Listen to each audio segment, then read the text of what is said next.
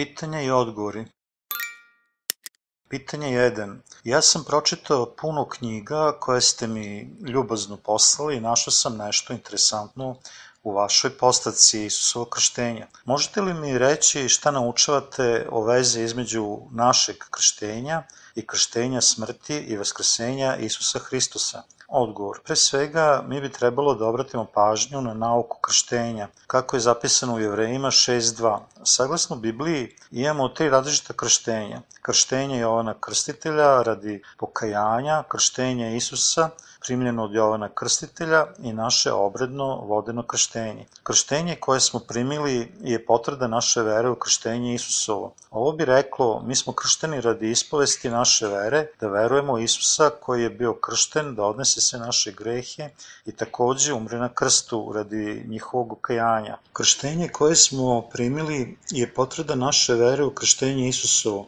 Ovo bi reklo, mi smo kršteni radi ispovesti naše vere, da verujemo u Isusa koji je bio kršten, da odnese sve naše grehe i takođe umre na krstu radi njihovog okajanja. Sada vi možete razumeti Mateja 3.15, gde je rečeno Ostavi sada to, za ovo nam dolikuje da ispunimo svu pravednost. Ovde sa za ovo misli se da Isus lično nosi sve grehe sveta, budući kršten od Jovana Krstitelja, predstavnika čitavog čovečanstva. To je bio osmišljeni plan Boži da nas spase od neizbežne zanke greha. Gospod Bog položio je na njega prestupe svih nas, Isaija 53.6, i potvrdio nas je za svoje pravednike. Pravednici su ovde označeni sa dikaiosune na grčkom, koji takođe označavamo poštenje i pravdu. To nam kaže da Isus podnosi veliku nepravdu čitavog čovečanstva na najpošteniji i najpravedniji način, krštavajući se polaganjem ruku. Mi smo se spasili našom jakom verom u krštenje, smrt na krstu i vaskrsenje Isusovo.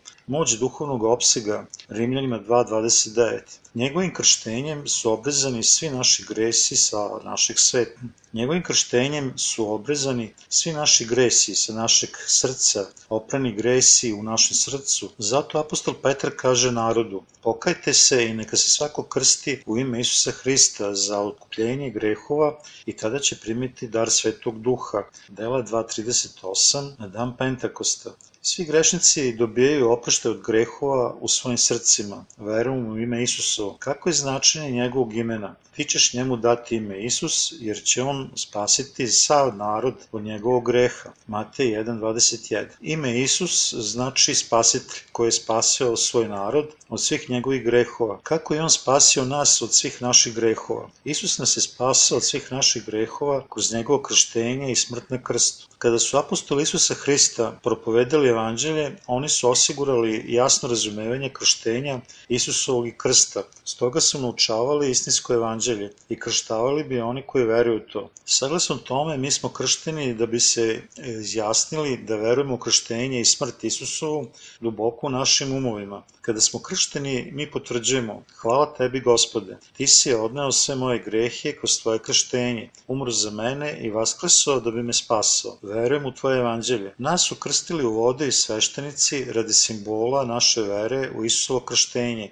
i njegovu smrt na krstu. Baš kao što je njega krstio Jovan Krstitelj. Stoga sveti u ranoj crkvi bili su kršteni radi dokaza svoje vere. Nakon njihove saglasnosti sa verom evanđelja i dobijali bi izbavljenje, oprošte grehova. Obred krštenja nije neophodan uslov da bi se spasili. Čak i ako je to veoma važno da izjasni našu veru, naša voda, krštenja ne čini ništa sa našim spasenjem. Mi možemo biti spašeni samo verujem u evanđelje vode i krvi. U Bibliji stoji da su mi kršteni u Isusa Hrista, Rimljanima 6.3, Galatima 3.27, kada mi verujemo u njegovo krštenje. Tada kako možemo biti kršteni u njemu? To je moguće samo ako mi verujemo u njegovo krštenje od tela naše stare ličnosti, da bi bili ujedinjeni sa Isusom i raspeti sa njime samo kroz našu veru u njegovo krštenje. Prema tome, od kada je Isus ponovao sve naše grehe svojim krštenjem, njegova smrt je bila osuda za naše prestupe. Prema tome, mi takođe umiremo na krstu s njim. Drugačije naše tela kojim činimo samo greh do smrti, umiru radi greha i mi smo spašeni od svih prestupa u jedinstvu sa Isusom kroz njegovo krštenje. Zato onaj koji je ujedinjen sa Isusom kroz njegovo krštenje i smrt može takođe biti ujedinjen s njegovim vaskrsenjem. Njegovo vaskrsenje nije samo naše vaskrsenje i smrtnog greha, već nas takođe vodi da budemo iznova rođeni i posvećena deca Božja, koja su čista i bezgrešna pred njim. Ako smo mi prenali naše grehe na njega, e, sumnjom u njegovo krštenje, njegova smrt i vaskrsenje mogu izgubiti smisao, ne čineći ništa s našim spasenjem. Oni koji stavljaju svoje grehove na njega svojom verom su ujedinjeni sa njegovom smrću na krstu, osposobljeni da se rode iznova kao pravednici. Međutim, oni nisu položili svoje grehe na njega, budući da ne veruju u njegovo krštenje. Nemaju bilo kakve veze sa njegovom smrti i vaskrsenjem. Krštenje vernika je poverljivo, baš kao što možemo priznati vernike kao legalne supružnike kroz obrat venčanja. Krštenje svetih je spoljna objava onog što se veruje iznutra. Kada mi objavljujemo našu veru kroz njegovo krštenje u krst pred Bogom, svetima i svetom, naša vera postaje više bezuslovna. Bez razumevanja istinskog značenja krštenja koje je Isus primio od Jovana Krstitelja, mi ne bi trebalo da verujemo da se možemo spasiti ako ne verujemo u njegovo krštenje i samo značenje. To je jednostavno zanka đavola. Mi možemo i da primimo izbavljenje od grehova i da budemo dobrodošli u nebesa istinskom verom u krštenje Isusa u našim srcima, umesto da verujemo u svoje lično poštenje. Pitanje 2. Kako mogu reći ja sam pravedan kada grešim svaki dan? Odgovor. Mi kao ljudska bića činimo grehe svakog trenutka od kad smo rođeni pa sve do smrti. Kao činjenica da smo obavezani u osnovi naše prirode, mi grešimo od početka. Zato Biblija kaže, jer nema pravednog, ne, niti jednog. Rimljanima 3.10. Zato apostol Pavle ispoveda pred Bogom da istinita je reč i svakog primanja dostojna da Hristos Isus dođe na svet da spase grešnike greške, od kojih sam prvija 1. Timoteju 1.15. A sada bez zakona javi se pravda Božija, posvedočena od zakona i od proroka, a pravda Božija verom Isusa Hrista, u sve i na sve koji veruju, jer nema razlike. Jer svi se grešiše i izgubiše slavu Božiju i opravdaće se za badava, blagodaću njegovom, otkupom Isusa Hrista. Rimljanima 3, 21 do 24. Pod pravednošću Božijom misli se na Jovana krstitelja koji je krstio Isusa u Jordanu. Kada je on bio kršten, on reče Jovanu, Ostavi sad, jer tako nam treba ispuniti svaku pravdu. Matej 3.15 On je ponao greh sveta na najispravniji i najpravedniji način, onda kad je Jovan Krstitelj, predstavnik čitavog čovečanstva, krstio Isusa. Stoga Jovan je uzviknuo, videvši Isusa, gle je agnje Božije koje uze nase grehi sveta. Jovan 1.29 Tada na šta se misli sa grehi sveta? Ovo predstavlja sve grehe čitave ljudske vrste od Adama i Eve, prvih ljudi na zemlji, do poslednje osobe koja će živeti na ovom svetu. Ljudi iz prošlosti su pripadali svetu, ljudi iz sadašnjosti pripadaju svetu i oni koji će živeti u budućnost su takođe deo sveta. Isus je alfa i omega, bio je žrtvena ponuda za grehe svih vremena, pa je sve grehe sa sveta. Jednom je žrtvovan za grehe svih vremena, ponao je sve grehe sveta odjednom i za svakog kroz svoje krštenje u Jordanu i umro je na krstu za to. Mi smo ovim posvećeni. Biblija jasno definiše po kojoj smo volje mi osvećeni. Prinosom tela Isusa Hrista jednom, jevrejima 10.10. 10. Primećujemo da je ovo zapisano u prošlo sadašnjem vremenu. Mi smo bili posvećeni potpuno i nemamo greha. Od trenutka kada poverujemo Boga do sada i tako zaovek. Gospod koji je svemoćni Bog ima oko Sokolova od početka do kraja sveta. Iako je bilo prošlo oko 2000 godina od kada je on bio kršten, od kada je odnos sav greh ljudskih bića, počinjenog od početka do kraja sveta. Stoga, pre nego što je umro na krstu, on je rekao, završi se. Jovan 19.30. On je ponao sve grehove sveta pre oko 2000 godina i umro na krstu da bi njih oprao. Mi dalje grešimo, iako smo spašeni, jer naše telo je slabo. Svejedno, Isus nas je oprao od sveg greha iz prošlosti, sadašnjosti i budućnosti, ponoši grehe na svojem telu kroz njegovo krštenje i bio je osuđen radi njih na krstu, Ovo je potpuno i pravedno spasenje Božije. Da Isus nije odnos sa sobom grehe koje ćemo mi počiniti u budućnosti, ni pojedinačne grehe, ljudsko biće ne bi moglo biti izbavljeno od svakodnevnih greha. Plata za greh je smrt. Rimljanima 6.23. Kad su Jakov i bili još utrobi njihove majke, Bog ih je razdvojio u dve nacije. Iako pre toga nisu učinili bilo šta dobro ili loše, i volio je Jakova, a mrzeo je Isava, i rekao je, stari će služiti mlađim, postanje 25-23. Ovaj pasus ukazuje da spasenje Božije nije stiglo zahvaljujući našim sobstvenim delima, ali je dato onima koji veruju samo u Božije savršeno spasenje, njegovim krštenjem i raspećem. Mi ljudska bića predodređeni smo za pakao kao grešna bića od trenutka našeg rođenja do momenta kada umremo, ali Bog je predvideo naše grehe od početka, oprao je sve grehe jednom i za svagda pomoću Isusova krštenja i krsta, jer On nas voli. Mi živimo u blagosloveno vreme. Prorok Isaija je rekao, govorite Jerusalimu ljubazno i javljajte mu da se navršio rok njegov, da mu se bezakonje oprostilo, jer je primio iz ruki gospodnje dvojinom za sve grehe svoje. Istaja 42. Vreme našeg spasenja od greha završava se kroz evanđelje i su okrštenje i krsta, Stoga, ovako ko veruje u evanđelje može biti oslobođen od svih njegovih njenih grehova. Ovo je zavet koji će učiniti sa njima posle ovih dana, govori gospod. Daću zakone svoje u srce njihova i u mislima njihovim, napisaću ih i grehe njihove bez zakona njihova neću više spominjati, a gde je opraštanja ovih, onda više nema priloga za grehe.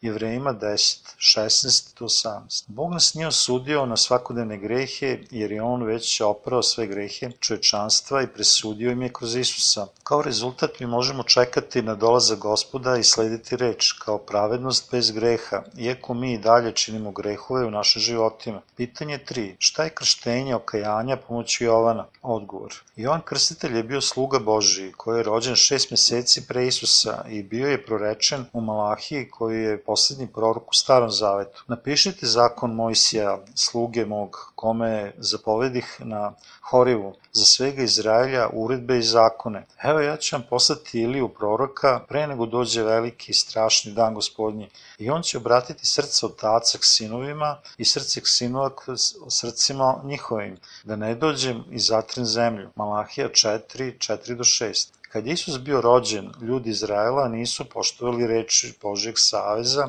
i obožavali su tuđe bogove. Oni su nudili slepe i manjkave životinje kao žrtvu i načinili hram Božiji mestom za trgovinu. Isus Hristos je takođe prorečen u zakonu Mojsivom i u prorocima. Zakon Božiji daje ljudima spoznanje greha, pokazuje koliko su oni grešni. Riljanima 3.20. Greh je ne živeti po svakoj pojedinoj zapisanoj zapovesti zakona. U Starnom zavetu greš grešnik koji se ogrešio bilo koji od stavki zakona, dao bi ponudu za greh u čelo šatora, Položio bi sve ruke na glavu žrtvene ponude da bi prenao svoje grehi na žrtvu i ubio bi je radi oproštaja greha i bio bi ujedinjen sa Bogom iznova. Tako bi sveštenik uzeo nešto te krvi i stavio bi je na rogove oltara za žrtvu paljenicu i prelio bi izvan sav ostatak te krvi na podnoži oltara. Međutim, narod Izrela nije mogo da se oslobodi od svih svojih grehova pomoću bezbrojnog dnevnog žrtvovanja. Stoga Bog je učinio stalnu odredbu za njih. Dan pomirenja, to je bio trenutak kad je Bog praštao njihove godišnje grehe na deseti dan sedmog meseca. Na taj dan Naron, visoki sveštenik,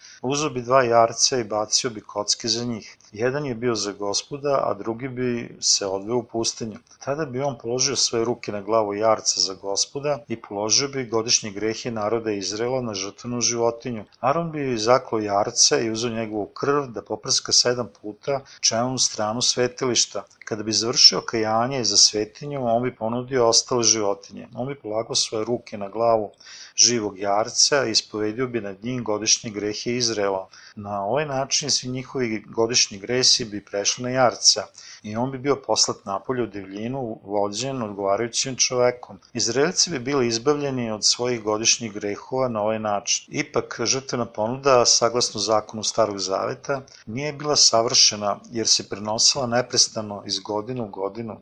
To je bila senka dobrih stvari, pravednog dela Mesije, koji dolazi jevrejima 10.1. Ljudi Izrela nisu čekali na Isusa Hrista, spasitelja, umesto toga oni su obožavali tuđe bogove grešnog sveta, odbacujući reči proročanstva u Starom Zavetu. Zato Bog proriče da će on poslati Jovana Krstitelja da bi obnovio srce Izraelaca, da bi ih povratio sebi, pripremio i njihova srca da prime Isusa Hrista. Pre nego što je Jovan Krstitelj krstio Isusa, on je dao krštenje za pokajanje ljudima Izrela u divljini Judeje. Njegova namera je bila da ih krštava vodom i tako ih ispuni i uputi na veru u Isusa.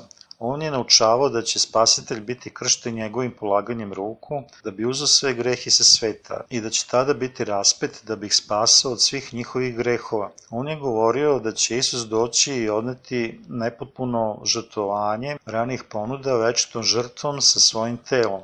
On će oduzeti sve naše grehe kroz krštenje, baš kao što su ljudi Izrela dovodili ponudu za greh. Životinju bez mane, polagali svoje ruke na nju i ubili je saglasno sistemu žrtovanja u Starom Zavetu. Mnogi Izraelci su ispovedili svoje grehe, okajavali i bili kršteni njime. Okajavanje podrazumeva vratiti se u jednom duhu ka gospodu.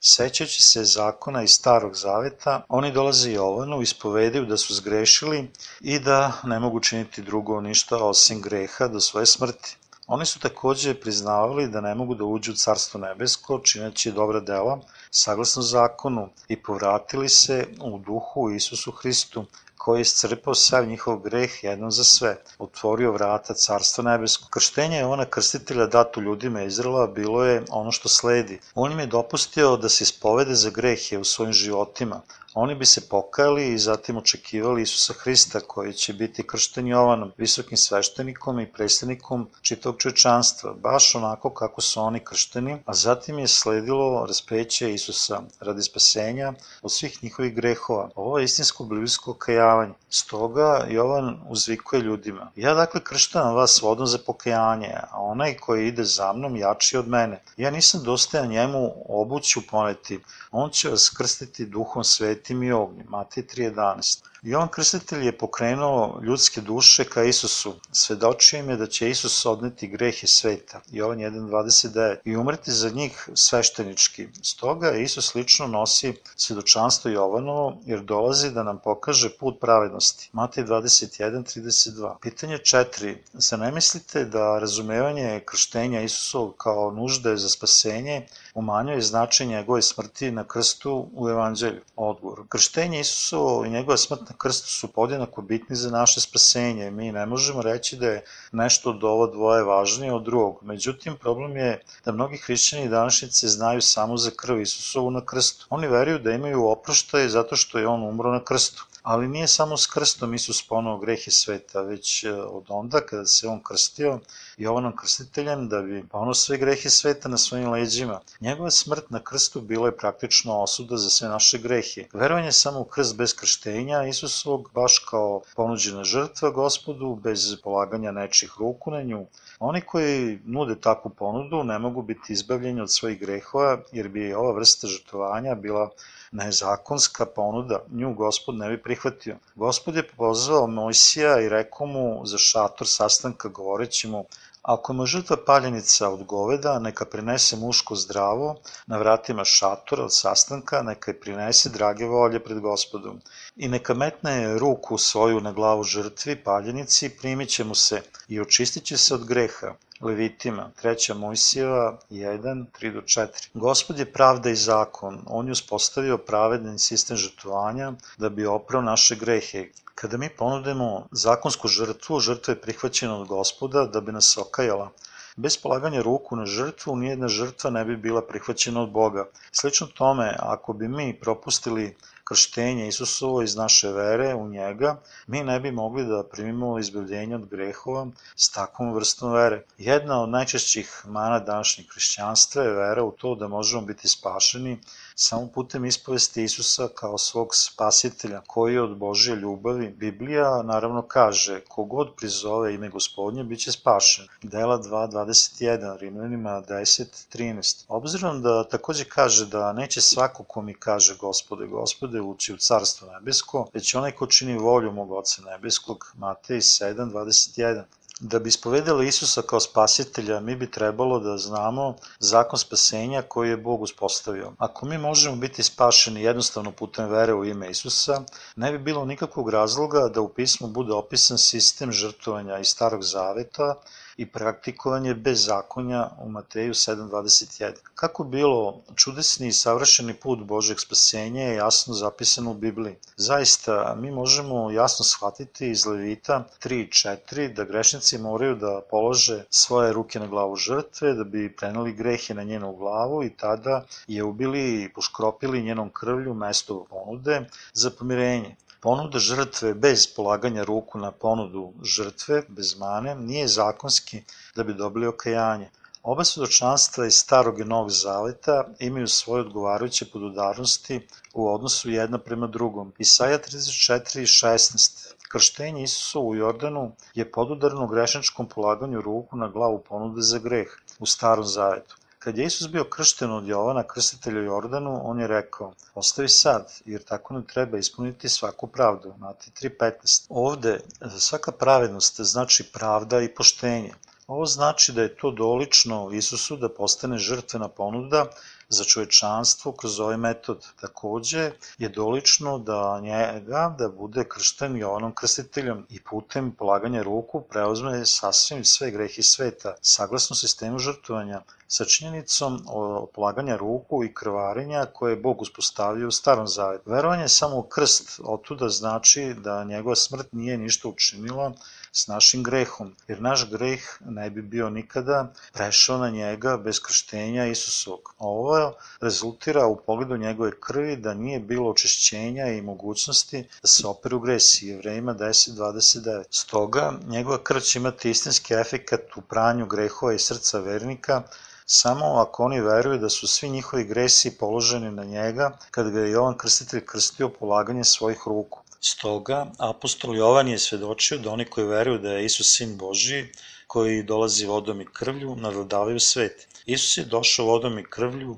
ne samo vodom ili samo krvlju. 1. Jovanova 5, 4 do 6. Isus Hristos je objasnio svojim učenicima da svo pismo svedoči za njega, počinje sa Mojsijem i svim prorocima. Ono pokazuje da je ponuda iz Starog Zaveta bio lično on. David je rekao u psalmima umesto njega i po tome rekoh, evo idem kao što je u knjizi pisano za mene, da učinim volju Tvoju Bože, psalmi 47, jevrejima 10.7. Kao rezultat njegovo krštenje nije poništavanje krsta, već je istinski bitan deo Božeg evanđelja koje upotpunjuje i ispunjava značenje krsta. To nas takođe uči da mi ne možemo biti izbavljeni bez krštenja i dragocene krvi Isusa Hrista, što podrazumeva da ćete biti spašeni od greha verom u krštenje Isusovo i u njegovu krv na krstu i da ćete tada primiti dar Svetog Duha. 1. Jovanova 5.8, dela 2, 38. Pitanje 5. Možete li mi dati objašnjenje Evanđelja vode duha? Odgovor. Ako bi izgubili iglu negde napolje, mi bi verovatno nju tražili u prostoru gde smo izgubili. Međutim, potpuno neobično zvuči da igla bude van kuće, jednostavno zato što se koristi unutar kuće. Ja sam pronašao neke neobične ljude iz današnje crkve. Oni bi se lako uposlili sred red beskonačnih biblijskih nesporazuma u vezi vodenog krštenja, ali se oni nikad ne upitaju koliko je to važno pitanje. Zašto je Isus bio kršten Jovanom krstiteljem? Zbog takvih težnji nastale su mnoge denominacije i sekte u današnjem hrišćanskom društvu da bi ostavili sve neprestane kontroverze, mi ćemo izići iz tog haotičnog sela i vratiti se na mesto gde smo izgubili našu iglu. Ako mi iskreno želimo da nađemo istinu, mi bi trebalo da se oslobodimo stereotipa zbog kojeg mi ne možemo naći istinu u religijskom poselu. Zašto su apostoli stavili toliko mnogo akcenta na krštenje Isusa Hrista? Tajna istina evanđelja vode i duha primljene od Isusa propoveda se celom svetu. Isus je rekao, zaista, zaista ti kažem, ako se ko ne rodi vodom i duhom, ne može ući u carstvo Božije. Jovan 3.5 Biblija nam govori da je Isus došao vodom i krvlju da bi nas spasao od svih naših grehova. 1. Jovanova 5.6 Značenje krvi je njegova smrt na krstu. Tada šta podrazumevaš pod vodom? Zašto je Jovan Krstitelj krstio Isusa? Šta je on objavljivao? Ostavi sad, jer tako nam treba ispuniti svaku pravdu. Matej 3.15 Baš pre njegovo krštenje. Ja se iskreno nadam da ti razumeš i veruješ evanđelje vode duha, naročito ukrštenje Isusovo. Ovde je neki kofer objašnjenja evanđelja vode i duha koji je on dao svojim učenicima. Apostoli postavljaju veliki naglasak na krštenje Isusovo kada propovedaju evanđelje. Apostol Pavle kaže, jer vam najpre prededoh šta i primih, da Hristos umre za grehe naše po pismu i da bi kršten i da usta treći dan po pismu. 1. Korinćanima 15.3-4. Što ovo znači? Hristos umre za grehe naše po pismu. Ovo znači da je njegova smrt okajavanje za sve naše grehe saglasno Bogom datom metodu u Starom zavetu. On je umro za nas saglasno otkrivenju u Savezu u Starom zavetu. U Jevrejima 10.1 stoji, jer zakon ima sen dobara koje će doći. Hajde da vidimo tipično žrtovanje u Levitima 1.3 do 5. Grešnik sigurno treba da zadovolji tri uslova za žrtvu paljenicu radi okajavanja njegovog greha. Pod 1 on dovodi ponudu bez mane, Levitima 1.3. Pod 2 on mora da postavi svoje ruke na glavu ponude, Levitima 1.4. Ovde mi treba da razjasnimo zakon Boži. Polakanje ruku na glavu ponude bio je Boži zakon da se prenesu gresi na ponudu. Pod 3. On je morao da ubije ponudu da bi okajao svoje grehe. Levitima 1.5. Na dan pomirenja Aron je polagao obe svoje ruke radi posvećenja saglasno pismu. Pre svega Isus je došao u telu čoveka da bude jagnje Božje bez mane. On je jedinac sin Božiji i sjaj slave i obliči njegovog bića. Jevrejima 1.3. Zato on je podesna ponuda za grehe čitave ljudske vrste. Drugo, Jovan Krstitelj je krstio Isusa u Jordanu. Krštenje je dato u formi sa polaganjem ruku i Jovan Krstitelj je potomak Karonov i predstavnik čitavog čovečanstva. Kad je Jovan stavio svoje ruke na glavu Isusa Hrista, svi gresi sveta su prešli na njega saglasno zakonu Božijem koji je uspostavljen. Isus je rekao Jovanu, ostavi sad jer tako nam treba ispuniti svaku pravdu. I on je krstio njega. Svi naši gresi su završili prelaskom na njega. Sledećeg dana Jovan je objavio, gle javnje Božije koji uze na sve grehe sveta. Jovan 1.29. Treće, Isus je umro na krstu za opuštanje svih naših grehova, rekavši, završi se. Jovan 19.30. On je ustao iznova iz mrtvih da bi nas načinio pravednicima pred Bogom. Zapamtimo da je ponuda za greh bila ponuđena za oprošte grehova. Grešnik je morao da postavi svoje ruke na glavu ponude pre nego što je ubije. Ako bi zaboravio samo jedan jedini korek, opustio da postavi svoje ruke na glavu ponude, on ne bi bio izbavljen jer je počinio nezakonsku praksu.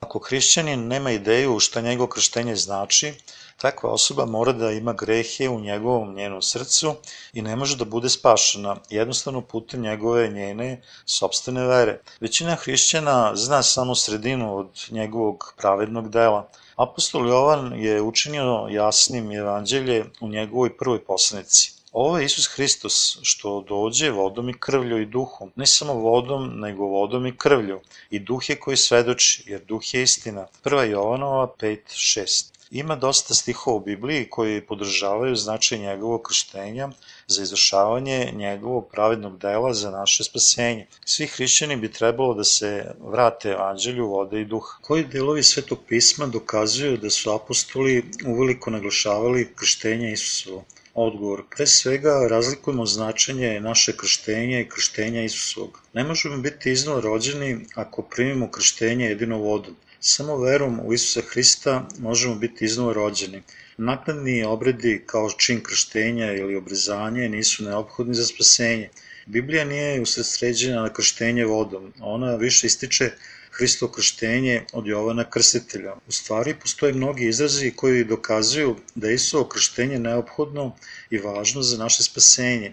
U svakom evanđelju je prikazan uvod sa Isusovim krštenjem. Evanđelje po Marku započinje evanđelijem o Isusu, Sinu Božijem i naslija se njegovim krštenjem, a Jovan je zapisao evanđelje u vremenskom razmaku koristeći termine kao sledećeg dana 1.29 i treći dan 2.1 počeši od Isusovog krštenja. Jovan Krstitelj je nagovestio reč Božiju, a idućeg dana je krstio Isusa rekavši Gle je jagnje Božije koje uze na se grehe sveta. Jovan 1.29.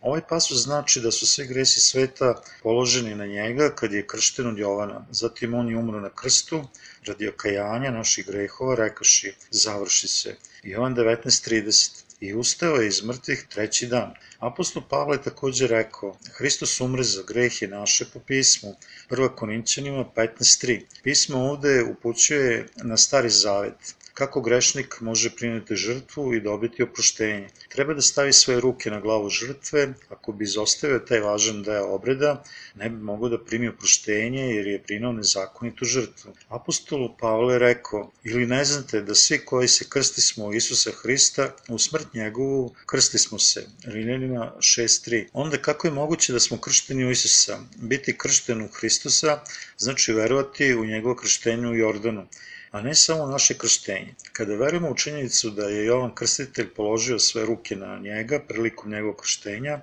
tada smo i mi kršteni u njega. Jer koji se god u Hrista krstiste, u Hrista se obukoste. Galatima 3.27 Oni koji su prenali svoje grehe na Isusa kroz Jovana Krstitelja svojom verom, postali su Božja bezgrešna deca u kome i obrezani biste obrezanjem nerukotvorenim odbaceši telo greha mesnih obrezanjem Hristovim. Kološani 2.11 Način izbavljenja od greha je putem duhovnog obrezanja.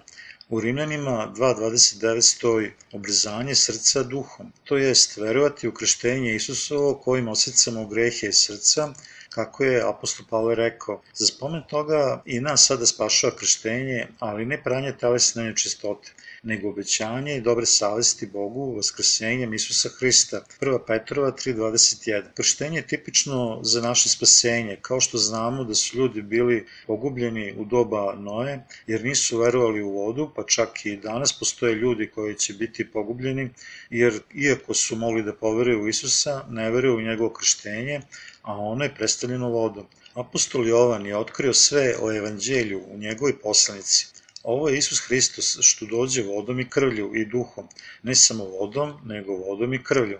1. Jovanova 5.6 Isus nam je došao svojim krštenjem i krstom da nas spasi od svih grehova i on je takođe rekao i troje što svedoče na zemlji, duh i voda i krv i troje je jedno, 1. Jovanova 5.8. Ovo nam govori da je Isuo krštenje, krst i duh jedan sastojak savršenog spasenja. Isus je rekao Nikodimu, Zaista, zaista ti kažem, ako se ne rodi ko vodom i duhom, ne može ući u carstvo Božje. Jovan 3.5. Mi smo rođeni iznova vodom i duhom. Verovanje u njegovo krštenje i krst je dovoljno da se izbaviš i primiš duha svetoga kao dar. To je sve ono što Biblija govori o ponovnom rođenju. Zato apostol Pavle je rekao, pokajte se i da se krstite svaki od vas u ime Hrista Isusa za oproštenje greha i primit ćete dar svetog duha. Dela 2.38. Da bi primio oproštaj za sve grehe i dar svetog duha, ti bi trebalo da čvrsto veruješ svojim srcem u Isuo krštenje. Šta reći još? Postoji mnogi izrazi koji trajno upućuju na njegovo krštenje kao neizastovni način pravednosti za naše spasenje. Hrišćanstvo se mora vratiti na evanđelje vode i duha. Zato da ostavimo početak Hristove nauke i da se damo na savršenstvo, da ne postavljamo opet temelja pokajanja od mrtvih dela i vere u Boga, nauke krštenja i stavljanja ruku i vaskrsenja mrtvih i suda večnog. Jevrejima 6, 1 do 2. Sada možemo naći trag u pronalaženju izvornog evanđelja prve crkve. Oni su naučavali doktrinu krštenja polaganjem ruku, uskrsnuće iz mrtvih i večne presude onima koji su tek postali hrišćani. Svi trebamo da verujemo u svom umu da je Isus uzao naše grehe svojim krštenjem i umro na krstu, da bi bio osuđen umesto nas, saglasno pravednosti Božih zakona. Pitanje 7. To je ono što ja već verujem i poučavam osim ako vi ne stavljate naglasak na često zanemereno krštenje Isusovo. Šta je onda tako drugačije u evanđelju vode i duha? Odgovor, biti spašen, primiti izbavljenje, opuštenje svih grehova, To znači biti iznova rođen, budući da grešnik postaje pravednik verom u evanđelje života. Mi kažemo, on, ona su rođeni iznova vodom i duhom kroz Isusovo spasenje. Sveti duh dolazi na one koji su se izbavili i na novo rodili, postaši deca Božija i postaši pravedne osobe. Isus je rekao, ja sam put, istina i život. Niko neće doći k ocu dok kroz. Jovan 14.6, čime se naglašava da se samo kroz Isusa, jedinorodnog Sina Božijeg, može ući u Carstvo nebesko. Svejedno, većina hrišćana i dalje misli da će pukim izgovaranjem njegovog imena postići spasenje. Veruju Isusa, a i da ne otvore svoje Biblije. Ne znaju za ono što je Isus učinio za naše grehe. Bog je duh i svet u kojem nema senke i promene, a mi još uvijek grešno živimo. Ući u Carstvo nebesko moguće je samo putem Isusa u kojeg možemo verovati verom, u zakon duha koji uživljava u Hristu. Rimljanima 8, 1 do 2. Mnogi ljudi čak i ne znaju šta je Isus učinio po pitanju spasenja, već slepo veruju u njega, govoreći gospode, gospode. Oni takođe misle da su spašeni, ali još uvek imaju greh u srcu. Ako još uvek imaš greh u srcu, uprko veri u Isusa, od čega si onda spašen? Ako ih neko upita kako Isus oprao tvoje grehe, većina ljudi odgovara, on ih je verovatno oprao na krstu. Na drugo pitanje, imaš li greha u srcu, oni kažu naravno, ko je potpuno slobodan od greha na ovoj zemlji. Ime Isusovo znači spasitelj koji spašava sav narod od greha njihovih. Matej 1, 21. Mi verujemo u Isusa da bi se spasili od greha. Međutim, ako još uvijek imamo greha u našim srcima, Iako verujemo u Isusa, mi ostajemo grešnici, prodati pod robstvo greha i bit ćemo osuđeni zbog toga. Apostol Pavle je rekao, nikakve dakle sada nema osuđenja onima koji su u Hristu Isusu, Rimljanima 8.1. Tako je sigurno da neko ko je sa grehom u njegovom njenom srcu nije još sjedinjen sa Isusom Hristom. Zašto on još uvijek nije spašen, već je otpili grešnik bez izbavljenja, premda još veruje Isusa? To je zato što veruje samo u krv bez polaganja svojih greha na njega, kroz krštenje Isusa. Stoga oni dalje imaju greha u svojim srcima. Budući da je Isus umro na krstu bez obzira na njihove grehe. Postoji značajna razlika između hrišćana koji veruju u Isusovo krštenje i neverevanje u njega. Neki su se izbavili i opravdali kroz veru u Isusovo krštenje, dok su drugi ostali u grehu bez vere u njega. Sveti duh nije sišao na grešnika, on silaze samo na pravednika koji se izbavio vodom i duhom. Zato apostol Pavle kaže, ili ne znate da svi koji se krsti smo u Isusa Hrista, u smrt njegovu krsti smo se. Rimljanima 6.3. Mnogi veruju da Isus naše grehe uzeo na krstu, ali nikad ne možemo priznati da nema greha u srcu ako ne verujemo u Isusovo krštenje. Ako ipak verujemo drugačije, krivi smo jer lažemo Boga i grešimo protiv sobstvene savesti. Mi sigurno i dalje grešimo u našem srcu ako sve naše grehe ne prenesemo na Isusa verom u njegovo krštenje.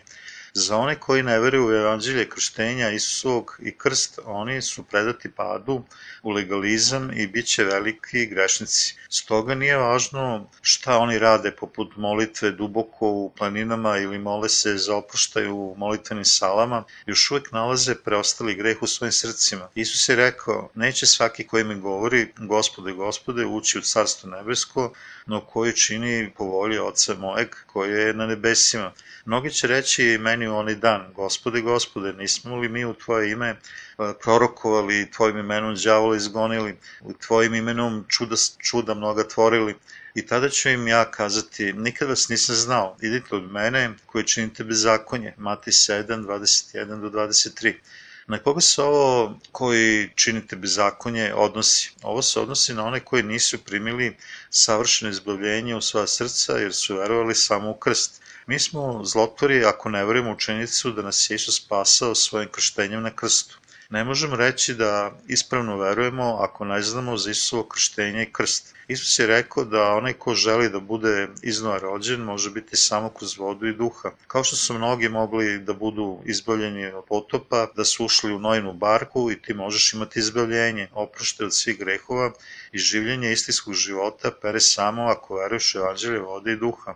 Bez evanđelja vode duha ne možeš primiti oproštenje grehova, niti postati Božje dete. Pitanje 8. Ja sam siguran da me vera u Isusa spasila. Imam mir i pozdanje u srcu, ali sada sam zbunjen vašim propovedima. Trebalo bi da verujem u njegovo krštenje i njegov krst da bih se spaseo. Odgovor. Ako ti ne veruješ u Isusovo krštenje, sigurno imaš greh u srcu. Apostol Jovan je rekao, ako kažemo da greha nemamo, sebe varamo i istine nema u nama. Prva Jovanova 1.8 Ako kaže da nemaš greha, iako ga još uvek imaš, jer ne veruješ u Isusovo krštenje, to je čin protiv tvoje savesti i istine u tebi nema. Sigurnost spasenja izlazi kroz ostvarenje oproštenja greha i primanje duha svetog, kao dar kroz veru u Isuo krštenje i krst. Apostol Pavle je rekao, drugačije evanđelje koje nije drugo, Galati 1.7. Ništa drugo osim evanđelja vode i duha apostoli nisu primili od Isusa i povedili su kako nas samo ono može spasiti od svih grehova. Ako mi ne verujemo evanđelje vode i duha koje su apostoli propovedali, mi sigurno i dalje imamo greh u nama. Kako možemo imati sigurnost spasenja ako je greh još uvek u nama? Kada uzorno živimo pred Bogom, sigurni smo da imamo radost i sigurnost spasenja u sebi, ali te sigurnosti nemamo i bojimo se kada je breme greha u našim srcima, kad zgrešimo. Tako spasenje je izgrađeno na našim osjećanjima i mislima, ali Bog ne podržava. Spasenje koje je postavljeno po nečoj volji postupno postaje osvećenjem u potrezi oproštenja greha svakog dana. Oni koji veruju u takvu lažu spasenje misle da će biti spašeni jednog dana ako se održe u svetom življenju, svakodnevno tražeći oproštenje greha, držeći se zakona i dobrim delima. Oni su ipak još uvijek grešnici ako ne izlože svoje grehe na Isusa putem vere i njegovo krštenje. Spasenje koje je Bog dao jeste savršeno i ono pokazuje da Isus uzao sve grehe sveta svojim krštenjem, krstivši se Jovanom krstiteljem u Jordanu da bi uništio greh na krstu. Stoga apostol Jovan kaže, ako priznajemo greh je svoje, veren je i pravedan da nam oprosti grehe naše i očisti nas od svake nepravde. 1. Jovanova 1.9 Ako ne znamo da su svi naši gresi oprošteni kroz evanđelje vode i duha, moramo doći pred gospoda i priznati mu da smo još uvek grešnici, iako verujemo u njega, predrodeđeni smo za pako, jer naši gresi ne mogu biti oprani bez evanđelja vode i duha, bez obzira koliko malom grehu se radilo. To je pravo priznanje greha. Ako ih tako ispovedamo, evanđelje vode i duha pere sve naše grehe jedno za uvek i čini nas pravednima. Sada je pravi čas. Svako ko čuje evanđelja i svog krštenja i krsta, spašanje od svog njegovog njenog greha, postaje pravednik i ima jaku veru da je on, ona, uvek spreman da uđe u Carstvo nebesko kada god bude gospod došao. Naše uverenja, doktrine, teologije nas ne mogu spasiti od greha, to su samo jeftini trikovi đava koje je on stavio u umove ljudi. Vratimo se evanđelju vode i duha i primimo istinsko Isusovo spasenje od naših grehova, tako da volimo njega i njegovo delo. Pitanje 9. Ako je vaše razumevanje vode i duha ispravno, tada razbojnik na krstu nije spašen. Ako bi tog razbojnika smatrali izuzetkom od pravila, tada Bog nije pravedan jer je prekršio sobstveno pravilo za ulazak u Carstvo nebesko. Kako možete objasniti spasenje razbojnika na krstu? Odgovor, u to vreme svi jevreji su iščekivali dolazak prorečenog Mejsije. Stoga oni su znali veoma dobro zakon i obredni sistem žrtvovanja koji im je Bog dao preko Mojsija. Verovali su da će Mesija doći u skladu sa Božim zakonom i osloboditi ih greha. Međutim, nisu verovali u činjenicu da je Isusovo krštenje preko Jovana Krstitelja bilo od Boga i da je polaganjem ruku sav greh sveta bio prenet na Isusa. Marko 11, 27 do 33. Već radije oni su prihvatili njega kao čoveka koji je zavodio ljude na pogrešan put i predali ga za raspeće. Obzirom da Rimljani nisu smeli da budu ubičeni ili raspenjani na krst jer ih je štitio rimski zakon, dela 22, 25 do 29, 23, 27. Po tome znamo da razbojnici nisu bili rimljani nego evreji. Takođe znamo da se jedan od tih razbojnika plašio Boga jer je rekao opomeni me se gospode kad dođeš u carstvo tvoje. Luka 23.42 Razbojnik je poznavao zakon Boži i obredni sistem koji je Bog dao Mojsiju. Tako je on znao da će Mesija doći u skladu sa zakonom Božeg okajavanja. Oni koji dolaze Bogu moraju priznati da su grešnici, određeni da idu u pakao za svoje grehe. Razbojnik koji je priznao svoje grehe rekao je i mi smo još pravedno osuđeni jer primamo po svojim delima. Luka 23.41. Mi takođe vidimo da se razmirnik plaši Boga i da ima nade za ulazak u Carstvo nebesko iz njegovih reči, kad kaže opomeni me se gospode kad dođeš u carstvo svoje. Luka 23.42. On je rekao, ali on nikakvo zlo nije učinio. Luka 23.41 kako je ovaj razbojnik znao šta je Isus učinio. Verovao je da je Isus začet po duhu svetom, da je rođen od Davice Marije, bio kršton Jovana Krstitelja, predstavnika svih ljudi, da je uzao sve grehe sveta i bio raspet. Taj je čovjek bio jevrej koji je verovao ono što je Isus učinio za sve ljude, uključujući njega. Čak i ako je on bio raspet da bi primio kaznu za njegova dela na zemlji. To su oni koji priznaju svoje grehe pri krštenju, kojim je Jovan svedočio za Božiju pravdu, čuši da su svi njihovi gresi prešli na Isusa njegovim krštenjem. Međutim, oni koji nisu prihvatili Jovanovo krštenje, pokajanja, odbacili su volju Božiju jer nisu verovali u svoje krštenje. Luka 7, 28 do 30. Naprotiv, razmenik koji je postao spašen priznao je da su sva Isusova dela bila dobra i pravedna, dok drugi to nije učinio.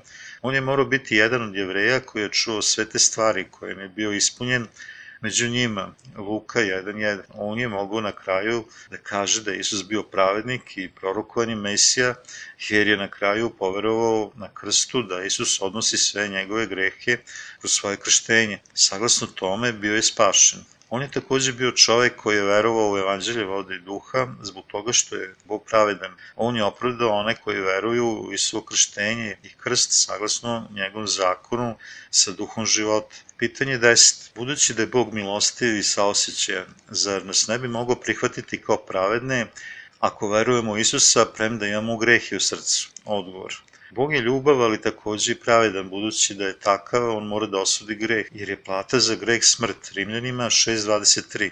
To znači da je grešnik nakon suda određen za pakao. On razdaja pravedne od grešnika kao što se dvojio tamo od svetla. Bog pravednima naziva one koji nemaju greha, jer veruju da je Isus oprao sve njihove grehe svojim krštenjem i bio raspet i osuđen za njihove grehe. Međutim, svi oni još uvijek imaju greha, jer ne veruju u Isuo krštenje. Grešnici su pred Bogom. To su oni koji ne veruju u vodu, drugim rečima, u Isuo krštenje, kao što to nisu verovali ljudi u nojno vreme. Ako bi Bog takve koji imaju greh u srcu smatrao pravednima i bezgrešnima, onda bi bio lažao, ne bi mogao da sudi ili vlada svojim stvorenjima. On je rekao, neću opravdati bezbožnika, postanak 2. Mojsija 23.7. Zlikovci su oni koji slede tradiciju i zavise od nje, koji odbacuju evanđelje vode i duha, kojim nas je Bog spasao od svih grehova i najpravedniji i na najispravniji način. Isus je rekao za greh, dakle što ne veruju u mene, Jovan 16.9. Sada samo još jedan greh postoji u svetu, a taj je neverovanje da je Isus uzeo sve grehe sveta svojim krštenjem i krstom i postao spasitelj. To je greh kuljenja na duha svetoga koji nikad neće biti oprošten. Ne postoji drugi put spasenja za one koji hule na duha svetoga, jer ne veruju da je Isus oprao sve njegove grehe. Apostol Jovan je rekao, svaki koji čini greh i bezakonje, čini i greh i bezakonje i znate da se on javi da grehe naše uzme i greh u njemu nema koji god u njemu stoji ne greši, koji god greši ne vidi ga niti ga pozna. Prva Jovanova 3, 4 do 6. Počinjeno bezakonje je neverovati učenicu da je Isus uzao naše grehe svojim krštenjem na krstu. Svi koji čine bezakonje bit će odbačeni na dan suda. Oni koji prebivaju u njemu nemaju greha i sjedinjeni su sa Isusom budući da su kršteni u njega. Svi koji baciše svoje grehe na njega putem njegovog krštenja nemaju više greha, čak i ako sagreše slabošću tela. Bog poziva oni koji su položili svoje grehe na Isusa i postali posvećeni po zakonu duha života, da budu pravedni. On im daje duha svetog kao dar. Duh sveti nikad ne silazi na one koji imaju grehe u srcu.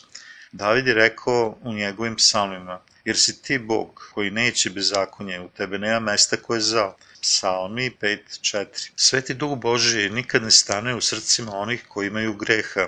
Grešnik koji nema duha svetoga u njemu, u njoj, može reći da su on, ona spašeni od greha, saglasno naučavanju i njegovom njenom ličnom mišljenju. Međutim, nikada ne može reći da nema greha u njegovom njenom srcu i da ima opravdanje verom, jer njega, nju, u to me sprečava njegova njena savest. Stoga takva osoba kaže da on, ona jesu grešnici u očima drugih ljudi, ali zaista misle da su on, ona pravedne osobe u Božim očima. Ali Bog nikad ne zove grešnika pravednima. Grešnik je predmet njegove osude i grešnik mora da veruje u evanđelje vode i duha da bi se spasao. Pitanje 11. Ako kažemo da Isus uništio sve naše grehe za prošlost, sadašnjost i budućnost, saglasno vašim tvrdnjama, kakva će biti budućnost osobe koja stalno greši, kad ta osoba zna da su svi njeni gresi oprošteni verom u Isusovo krštenje i krst. Ako bi ta osoba ubila neku drugu osobu, ona zna da su joj gresi oprošteni, pa čak i ovaj greh verom u Isusa na krstu. Stoga će ona nastaviti sa greškama bez oklevanja, jer veruje da je Isus već uništio njene buduće grehe. Molim vas da mi ovo objasnite. Odgovor. Pre svega zahvaljujem vam na to što ste postavili ovo pitanje u vezi Evanđelja vode i duha. Pitanje koje ste postavili bilo je pitanje mnogih hrišćana pre nego što su postali iznova hrišćani. Znam da je vaše pitanje proizašlo iz zabrinutosti da je ispravno za Hristovog sledbenika da stalno čini grehe. Međutim, Želim da vam kažem da ljudi koji veruju evanđelje vode i duha ne mogu živati životom koji ste opisali, nego svetim životom. Razmislite najpre o tome, ako je sveti duh zaista u vama, tada ćete rađati svete plodove, čak i ako ne želite. S druge strane, ako on, ona nemaju svetog duha u sebi, neće moći da rađaju niti jedin plodom duha, bez obzira koliko nastojali. Kako uopšte neko može rađati plodove duha ako sveti duh nije u njemu, u njoj? Premda on, ona veruje u Isusa, to je nemoguće. Gospod je rekao da zlo drvo ne može rađati dobrim plodom. Matej 7, 17 do 18. Želim sada da vam postavim nekoliko pitanja i ujedno odgovorim na njih. Vi verujete u Isusa, ali da li zaista upravljate svojim životom ako pobeđujete grehi sveta? Živite li kao pravedni sluga Boži koji pobeđuje grehe sveta, služeći gospodu sve više i više dovodeći druge ka spasenju od greha po evanđelju vode i duha o kojem govori gospod? Da li ste zaista postali pravedni koji u svom srcu nema ni najmanjeg greha nakon što ste poverovali u Isusa? Jedina vera u evanđelje koje može pozitivno odgovoriti na ova pitanja jeste evanđelje vodi duha gospodnje koji svedoči za u starom i novom zavetu. Mi nastavljamo da grešimo u svetu iako smo poverovali u Isusa. Svejedno, naš gospod je bio kršten Jovanom i krvario je svojom krvlju na krstu da bi nas spasao od svih grehova sveta. Stoga, Gospod je učinio pravedno delo za nas i mi smo se spasili od naših grehova kroz veru u Božju pravednost, gospodnje krštenje i krv kojim je On stranio naše grehe. Želim da vas pitam nešto iznova. Da li je vaša savest slobodna od greha? Jeste li dalje grešnik iako ste poverili Isusa? Ako je to istina, onda je to zbog toga što vratno niste znali za evanđelje vodi duha.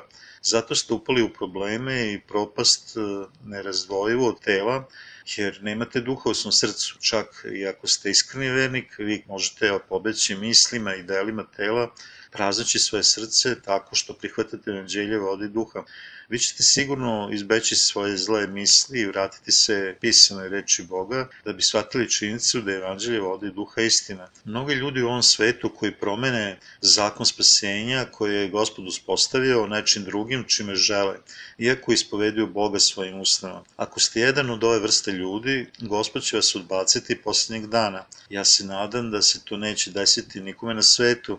Ja se molim da vi budete osoba koja veruje u Isuvu krv na krstu, ta tako kao jednu stvar koja vas može spasiti i da ste postavili pitanje iz želje da ostatak života provedete bez greha. Međutim, vaše misli su misli tela, što je neprijateljstvo Bogu, jer se ne pokoravaju zakonu Božijem, niti može. Rimljanima 8.7. Pavle kaže, a koji su telu ne mogu Bogu ugoditi. Rimljanima 8.8. Pavle je rekao, a koji su telu ne mogu Bogu ugoditi, Rimljanima 8.8, ako vi zaista želite da imate veru koja zadovoljava Boga, vi bi trebalo da verujete u najznačajnije delo gospodnje, radi kojeg je on došao na ovaj svet kroz devicu Mariju, odnos sve greke čovečanstva, kroz krštenje primljeno od Jovana Krstitelja u reci Jordan i time ispunio svu pravednost Božju. Šta mislite ko može da čini pravedna dela, grešnik ili pravednik? Grešnik je još uvek u srcu sa grehom Jer on, ona nisu primili oproštaj od Boga. Stoga takva osobu čeka osuda za greh. Bog ne dopušta grešnicima da uđu u njegovo carstvo,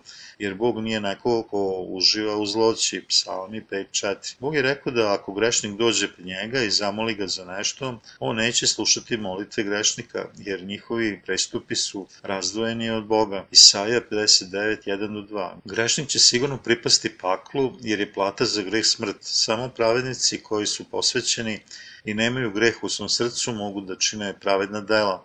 U dodatku, Sveti Duh e, stanuje unutar srca pravednika koji su bez greha nakon što su poverovali u Isusovo krštenje i krst. Apostol Petar je rekao na dan Pentakosta, e, pokajte se i da se krstite svaki od vas u ime Isusa Hrista za oproštenje greha i primit ćete dar Duha Svetoga. Dela 2.38 Ono što je ovaj pasus rekao je to da ako želiš istinsku veru i primiš oslobođenje od svih tvojih grehova verom, tada bi trebalo da veruješ u Isuo krštenje i njegovu smrt na krst. Takva vera ti dopušta da se krstiš u ime Isusovo, što ti kaže ti možeš primiti oslobođenje od svojih grehova verom u njega, pravedna dela. Naravno, sledbenici Isusovi su takođe predstavnici obreda krštenja radi ponovnog rođenja onih koji veruju, koji imaju veru u njegovo krštenje i krst. Isus je zapovedio njegovim sledbenicima da krštavaju svakog u ime Oca i Sina i Svetog Duha. Matej 28.19. Nadalje, apostol Pavle je rekao, a ako ko nema Duha Hristog, on nije njegov.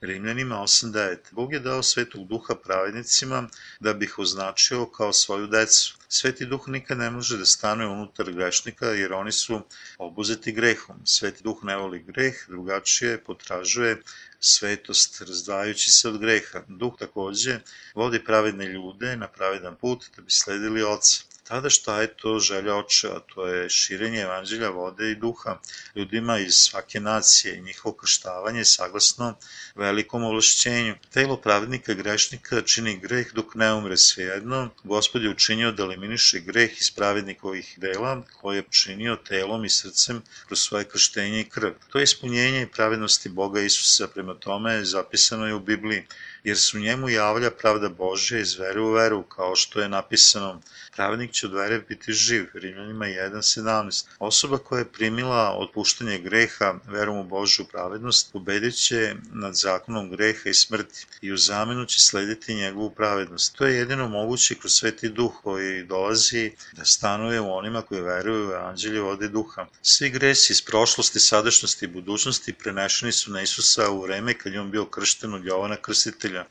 Telo pravednika takođe je umrlo sa Isusom tada, kada osoba veruje u to, on, ona su sjedinjeni zajedno sa Isusom u smrti njegove. Tako je presuđeno njegovim njenim grehovima. Rimljanima poglavlje 6. Prema tome, čak i ako je telo pravedne osobe takođe činilo grehe, neprestano tokom svog njegovog njenog života, Sveti Duh stanuje u njegovom njenom srcu, vodeći njega, nju, tako da on, ona mogu slediti duha. Pravedna osoba sledi Svetog Duha i čini Božje delo, zato Sveti Duh stanuje u njemu, u njoj. Čak i u vreme apostola mnogi ljudi su nepotrebno optuživali ponovno rođene, jer su oni imali obraza da vode brigu nad svojim životima novorođenih, kojima je vladao Sveti Duh. Kako bilo, ova vrsta ljudi nije razumila istinsko evanđelje vode i duha koje su apostoli propovedali kao nagonskom namerom tela. Stoga apostol Pavle rekao takvim ljudima, šta ćemo dakle reći, hoćemo li ostati u grehu da se blagodat umnoži? Bože sačuva, jer koji umre smo u grehu, kako ćemo živeti u njemu? Rimljanima 6, 1 do 2. On dodaje, zahvaljujem Bogu svom kroz Isusa Hrista, gospoda našeg. Tako dakle, Ja sam umom svojim služim zakonu Božijem, a telom zakonu grehovnom. Rimljana 7.25. U zaključku, telo pravednika je dalje nesavršeno i nema drugog izbora osim nastavka u grehu, ali oni čvrsto slede svetog duha, propoveduju evanđelje čitavom svetu. Pravednici hodaju duhu jer njihova srca počivaju pod milošću. Šta dakle, hoćemo li grešiti kad nismo pod zakonom nego pod blagodaću? Bože sačuvaj. Ne znate li da kome dajete sebe za sluge poslušanje, sluge ste onog koga slušate ili greha za smrt ili poslušanje za pravdu. Rimljanima 6, 15 do 16. Baš kao pravo cveće koje je različito od umetničkog cveća, seme u srcu pravednika razlikuje se od semena grešnika. Budući da je sveti duh seme u srcu pravedne osobe, takva osoba može slediti duha ili pravednu istinu u njegovom njenom životu kojem se može ugoditi Bog. Drugačije, grešnik nema drugog izbora osim da sledi greh, jer gospodar unutar njega nje je sam greh. Grešnik nije sposoban da vodi sveti život jer on, ona ne posjeduju duha, budući da su obavezni njegovim njenim brojnim prestupima. Pretpostavka da oni koji veruju evanđelje vode i duha nisu sposobni da vode svete živote je samo neka greška nastala od nagonskog telesnog mišljenja. Bog takve upozorava rečima, već govore zlo i kad ne znaju i kad god znaju prirodno, kao brutalne zveri, time su zaokupljeni. Juda 1.10 Mnogi ljudi današnjice ne shvataju živote pravednika, čak i ako znaju za evanđelje vode i duha, kao istinsko evanđelje. Oni ga ipak ne znaju potpuno jer ga ne primaju u svoja srca. Šta vi mislite o pravednom delu iznova rođenih svetaca? Oni nude svoje dragocenosti, čak svoje lične živote žrtvuju za dobro delo širenja evanđelja čitavom svetu. Obzirom na naš lični stav, zašto mislite da oni koji veruju evanđelje vode duha hoće namerno da počne greh izgovarajući se na evanđelje? Pravednici čine dobra kroz veru usred svetla istine, Božje pravednosti. Oni koji primenjuju pravednost Boga bit će rođeni od Boga. Mi se zapravo nadamo da će svi grešnici da se vrate evanđelju u kojem je Isus oprao sve njihove grehe svojim krštenjem i krvlju. Da ozbiljno želimo ti da primiš uproštenje grehova verom u evanđelju vode i duha istinski svojim srcem i da sačekaš gospoda do poslednjeg dana bez greha.